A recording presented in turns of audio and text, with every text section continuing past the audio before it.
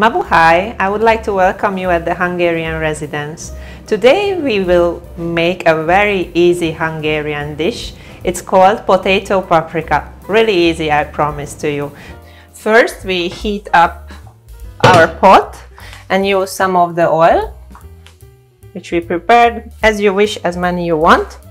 And then we have like two uh, full, uh, actually uh, white onion uh, diced. And we saute a little bit in the pot.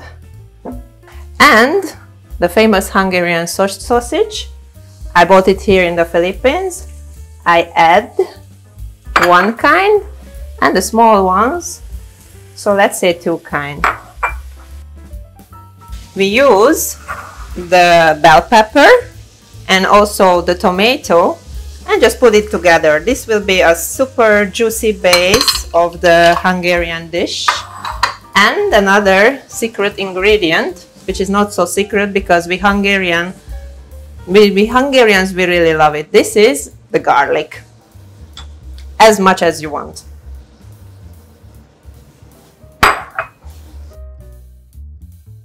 And now we will add all the spices, just a few. I suggest one bay leaf, um, cumin, which is very important, a powder. Let's say like two uh, tablespoons. And the famous Hungarian paprika powder will have a good like a spicy flavor already in the air, in the smell and then the other main ingredient of the dish is the potato. You just dice before, wash it, and the peeled potato goes into the pot.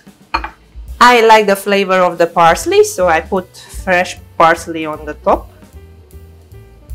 And you need to use as much as water as can cover the whole dish.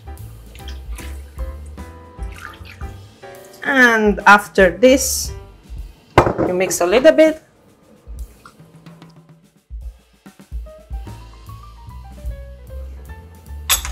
And 30 40 minutes. Top on the pot. And you will be ready. So let's see what we cooked. This is what we have today. I think it looks delicious. And I hope it will taste really delicious.